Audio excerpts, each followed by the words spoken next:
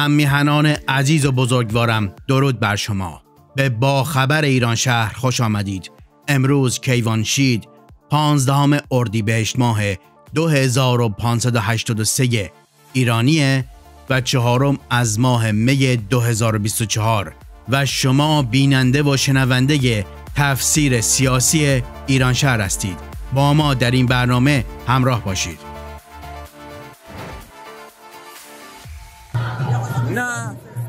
می‌خوام نشون بدن که یه ایرانی پرچم فلسطین دستش گرفته بود و چفیه فلسطینی داره. بله با افتخار. یه بار دیگه بگو بچه ها ببینم با افتخار توی دانشگاه U of T University of Toronto دانشگاه تورنتو با افتخار برای آزادی فلسطین از دست سیستم صهیونیستی و نوچه های آمریکا مثل خوده خب می‌دونی بچه های ایران جواب اینو چی میدن؟ میگن پرچم فلسطینو بکن. سه تاشون یا لومپنای مثل شما؟ نه تو استادیوم مردم میگن آره. مردم میگن پرچم من برای تحویل گرفتن نیومدم. من اومدم. اینجا صدای نیکا شاکرمی باشم. نگاه کن. نه نیکا شاکرمی اینا. نیکا شاکرمی 16 years old Iranian teenager was assaulted sexually and killed by the Islamic Republic in Iran. شما اینجا. اومدی که صدای فلسطین باشی. به تو ربطی نداره. الان خودت گفتی. من گفتم جمع کن برو. خب نه نمی‌تونی بگی اینجا پابلیک از اسپیسه من سوال نکن. خب هم میهنان عزیزم الان در حال حاضر ایالات متحده قبل از انتخابات ریاست جمهوری قرار داره و بسیار شرایط ملتهبه. در این وضعیت و در بین دو کاندیدای اصلی ریاست جمهوری وضعیت بایدن واقعا خراب و بغرنج. الان حدود ده روزه که یک سری آدم ناشناس قاطی یک سری دانشگاهی در آمریکا شدن و اینها خواستار انقلاب در آمریکا هستن. اصولا این داستان. یعنی اولش می‌گفتن به خاطر حمایت از فلسطینیان بعد حمایت از حماس یعنی یک گروه تروریستی. بعد اومدن شعار دادن که یهودیان رو باید کشت. الان یهودی ستیزی در آمریکا در بالاترین سطح خودش تا یه ده ها سال قرار داره. اما تمام این وضعیت الان آوار روی سر خود جو بایدن. و این کار رو بسیار بسیار برای بسیاری از جمله برای رژیم مشکل کرده. ببینید رژیم اسلامی یه جور تبلیغات می‌کنه که انگار داره آمریکا رو به هم میریزه. نه اینطوری نیست. ببینید الان همه می‌دونن که روی کار آمدن جمهوری اسلامی و در قدرت موندنش فقط به خاطر اینه که غرب و بسیار کشورهای عرب این رو می‌خوان. یعنی می‌خوان که جمهوری اسلامی باشه و تا الان می‌خواستن. برای بسیاری این شرایط عوض شده الان. برای اعراب زیاد تفاوتی نمی‌کنه. اعراب فقط نیاز به امنیت دارن و اعراب کاملا مطمئن نیستن که اگر رژیم اسلامی بره رژیم بعدی چجوری باشون رفتار بکنه؟ مثلا الان در مورد کویت و عربستان رژیم یک میدان گازی پربار مشترک رو به نام میدان گازی آرش داده به این دو کشور. اصلا داده. هیچ کاری در قبال مشارکت در برداشت این میدان گازی نکرده. در مورد پارس جنوبی که الان چند برابر ایران قطر گاز استخراج کرده و فروخته رفته هستن. یعنی داده رفته پولشو گرفته. کلا اعراب مشکل خاصی با رژیم ندارن. مشکلشون اینه که مبادا کار به جای برسه در معادلات سیاسی که رژیم بهشون حمله بکنه و امنیتشون به خطر بیفته به خصوص الان که داره بحث کریدور بزرگ کشته میشه و مباحث بسیار مهم اینجا در جریانه. اما اگر برگردیم به موضوع اصلی یعنی آمریکا ببین الان آمریکا این به اصطلاح انقلابی که راه افتاده همه مبانی تشکیل دهنده این آمریکای مدرن رو نقض می‌کنه و آمریکایی‌ها نمی‌تونن این رو بپذیرن. الان اکثریت قریب به اتفاق آمریکا یا بجز یک قشر بسیار کوچیکی مثلا 10 درصد همگی مخالف اینن. فقط 10 درصد هستن که حمایت می‌کنن از این کارا از این حرفای یهودی ستیزانه. علنا میگن آقا یهودیان باش کشته بشن. الان میزان حملات به یهودیان حملات به business هاشون مثلا من مصاحبه دیدم امروز که مردم مغازه‌دار یهودی یه سری آدم میان شبانه رنگ میپاشن رو مغازه هاشون و علامت میزنن رو مغازه هاشون دقیقا دقیقا اینا کارهایی که زمان جنگ جهانی دوم هیتلر میکردن که اصلا اسنادش هست. بعد اگه یادتون باشه چارلی چاپلین هم یه فیلم ساخته بود به نام دیکتاتور بزرگ توش اصلا بود. یعنی اینا دقیقا رفتاری که قبل از یک هولوکاست رخ میده. و کجا؟ در آمریکا. خب آمریکا نمی‌تونه این رو بپذیره. و الان یه مسئله وجود داره. الان جو بایدن در آخرین نظرسنجی ها در هفتاد سال گذشته بدترین رئیس جمهوره در نظرسنجی ها. اینکه دوباره به قدرت برسه یا نرسه به نظر من این نظرسنجی ها زیاد تاثیر نداره. به خاطر اینکه بازی های بسیار پشت پرده ای در آمریکا بازی میشه که تا این کشور در قدرت بمونه. انقلاب اسلامی و روی کار اومدن آخوندا و سقوط 57 برای ما ایرانیان یکیش بود. یعنی اینا این کار اگر نمی‌کردن آمریکا در سر جدی میافتاد. ما باید 40 50 سال بدبختی میکشیدیم نجات پرستی رو باید به جون میخریدیم یعنی یک فرقه نجات پرست عرب اومده دار و ندار ایرانیان رو صاحب شده و کار شده دزدی از ملت ایران و خرج کردن برای کشتار ملت ایران و هیچ هم تو دنیا به این اعتراض نمی‌کنه چرا اعتراض نمی‌کنه به خاطر که به نفعشونه Pahlavi dynasty has to go. There's no choice in my opinion. We don't want that government. Now that's a message to the whole world and especially the influential countries including Britain, the United States, uh, and of course Iran. Max McCarthy worked in the US Embassy. The Shah dreamed of a new Iran. Development programs plunged ahead. The government scrapped all previous economic plans and went for 25% growth. The oil boom transformed Iranian society. New important jobs in the expanding industries, new business deals with new fat commissions at the end of them. A new lifestyle that no longer just apes, but tries to outdo the West. Okay, you have raised the price of oil four times uh, to repatriate those pounds and petrodollars. But this week, the voice that may well decide the future of the country comes not from Tehran, but from Paris. This French street is now the base of a religious government in exile. بودن رژیم به نفعشون بوده. الان اما باید تغییر بکنه شرایط و خود غربیا باید بدونن که اگر با ساخت و پاخت با رژیم اسلامی ادامه بدن علیک خودشون در آینده ایران سرمایه گذاری کرده. اینو باید بدونن. آمریکاییان باید بدونن. این برمیگره به کی؟ به ملت ایران. ملت ایران باید نشون بدن که ناراضیان به هر طریقی که می‌تونن. مثلا دیدین در نوروز یکی از بهترین انواع نشون دادن به جهان این بود. اما خب آمریکایی‌ها بسیارشون چیزا نمی‌فهمن. یعنی آمریکایی‌ها یا اصولا یه آمریکایی یک آدم بی اصل و نسبه. یعنی بسیاری که میرن آمریکا شاید از کشور دیگه رفتن یه چیزایی با خودشون بردن. اما یه آدم جدیدی میشن. خب؟ به جز افرادی که تبعیدی هستن. مثلا اعلی حضرت رضا شاه دوم تبعیدیه. بسیاری از نویسندگان متفکران ایران دوستان تبعیدی هستن. یعنی ناچارن برن یه جایی که جونشون در خطر نباشه و زنده بمونن برای ایران. این داستان اینه. نه تنها در آمریکا در بسیاری نقاط دیگه جهان هستن. اما فرض بکن یه نفر که مثلا از ایتالیا رفته آمریکا آمریکایی میشه. چرا؟ چون این مشکل سرکوب و مشکل انقلاب و مشکل کشتار و اینا در ایتالیا نشه که به خاطر این داره میره آمریکا که آمریکایی بشه. به این عشق داره میره. وقتی این اتفاق میفته چه اتفاقی میفته طرف تمام گذشتهش میرزه دور و یه آدم جدیدی میشه.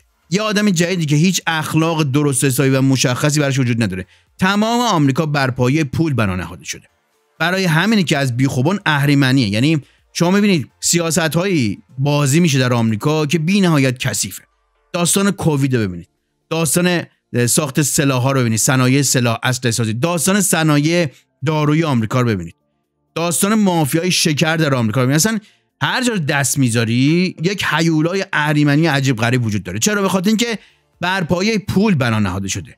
life liberty property زندگی آزادی مالکیت. وقتی شما آزادی و مالکیت رو می‌ذاری بغل دست هم دیگه از بیخ و بن اهریمن رو ساختی. اینو ما از تمدن ایران آموختیم و اینو می‌دونیم که پایه کشور نباید به هیچ عنوان بر پایه پول و دارایی و مالکیت باشه. این خطاست این هرچی که باشد سقوط خواهد کرد. اما حالا اگر برگردیم به اصل داستان الان یک وحشت کلی آمریکا رو برداشته. خب؟ الان دارن می‌بینن آمریکایی‌ها که جوونا شدن تروریست. صحبت از این می‌کنن که یهودی بکشیم. بعدم وسطشون اولا کلی آدم هستش که اصلا دانشجو نیستن. معلوم نیست کیان اینجا کی اینا رو فرستاده.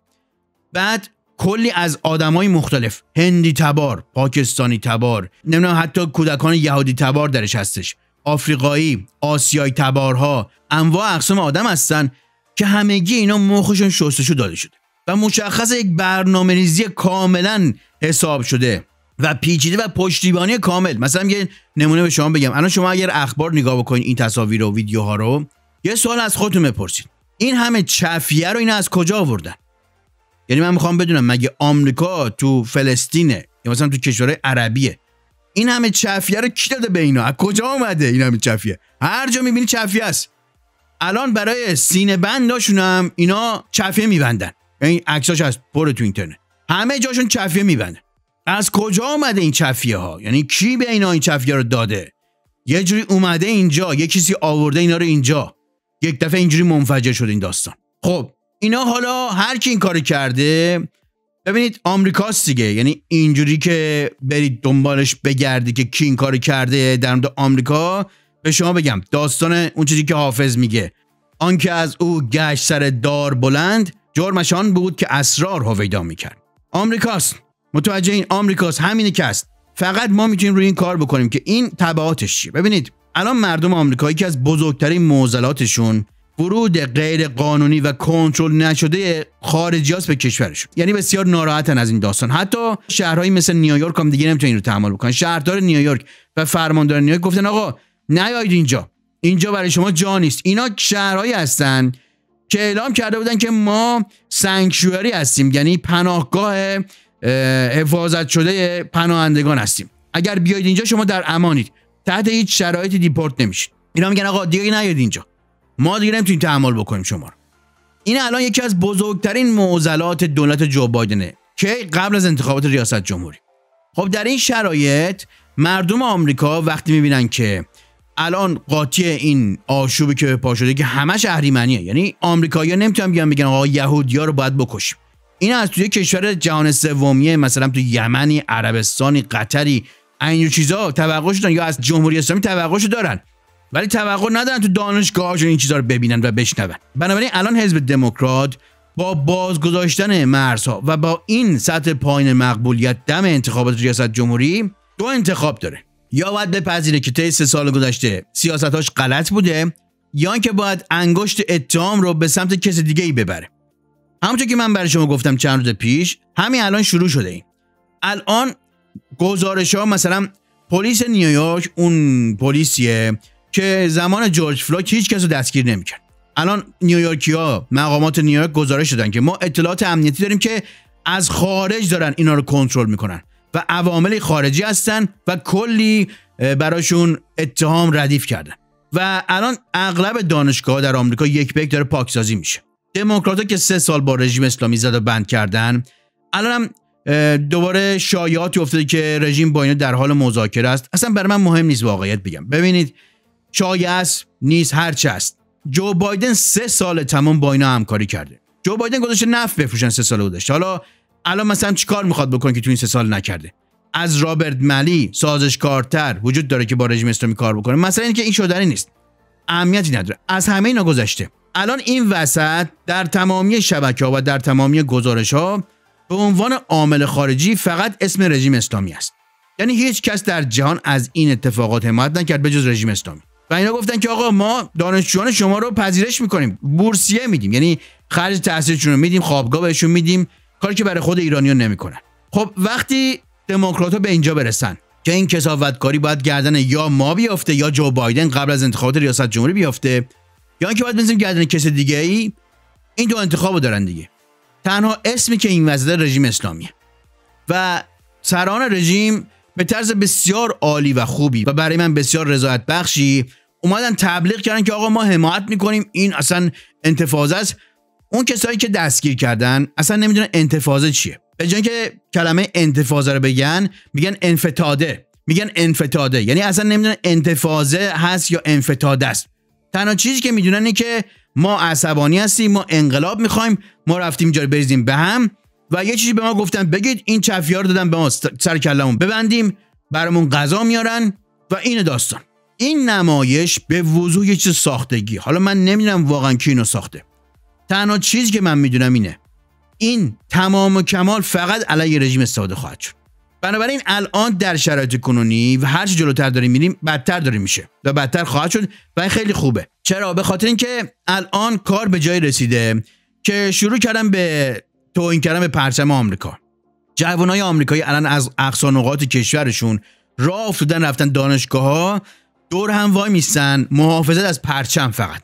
یعنی انقدر این میهن پرستیشون گل کرده اینا. تمام اینا صحنه‌ای که داره علیه جو بایدن تبلیغ می‌کنه. تو که دیدید که جو بایدن نه روز حرف نزد راجع به این داستان بعد از نه روز اومد فکر چی گفت؟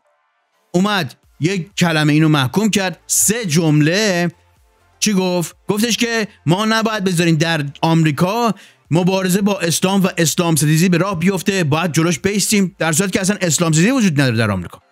کجا شما دیدید دانشگاه آمریکا مثلا کمپ بزنن بگن اسلام باید جمع بشه یا که مسلمانان رو باید کشت؟ خود این حرفا یهودیان رو بدتر عصبانی کرده تو این روزهای گذشته.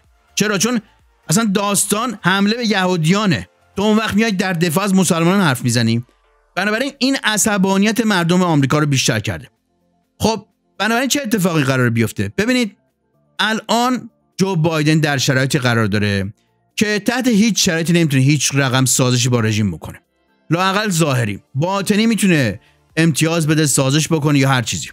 اما این باطنی سازش کردن با رژیم هم تبعاتی خواهد داشت و اسرائیل ساکت نخواهد داشت. چرا؟ به خاطر اینکه هر چقدر پول می‌رسه به رژیم اسرائیل که تضعیف میشه. آمریکا از یه طرف جلو اسرائیل رو گرفته و نمی‌ذاره مثلا الان به رفع حمله بکنه.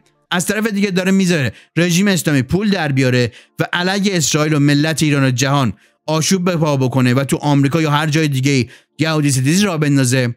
بنابراین اسرائیل نمی‌تونه این وضعیت رو تحمل بکنه. ناچار خواهد بود توازن رو به هم بزنه. اما آنچه که معلومه اینه که کار به جای خواهد رسید به زودی که حزب دموکرات در آمریکا ناچار خواهد بود. بین سازش با رژیم اسلامی یا جمع کردن رأی از آمریکایی ها به خصوص یهودیان یکی رو انتخاب بکنه. از اون جایی که دموکرات در آمریکا توتالیتر هستن. یعنی چپ کلا توتالیتر یعنی همه تمامیت خواه دیکتاتور دیکتاتورترین آدم رو کره زمین چپا بوده مطمئن باشید به زودی در اولین فرصت تمام تقصیرها رو از روی دانشگاهی و تمام دانشجویان برمیدارن می‌ذارن رو کله رژیم اسلامی. چرا؟ چون تنها کشور و عامل خارجی که اسمش این وسط هست جمهوری اسلامی ایران به رهبری علی خامنه که علنا میاد تبلیغ یهودی کشی می‌کنه و دانشگاهاش به دستور اون بورسیه صادر می‌کنن برای تروریست ها و یهودی ستیزها در آمریکا. پایدار و سرفراز ایران و ایرانی جاوید شاه تا با خبر بعدی بدرود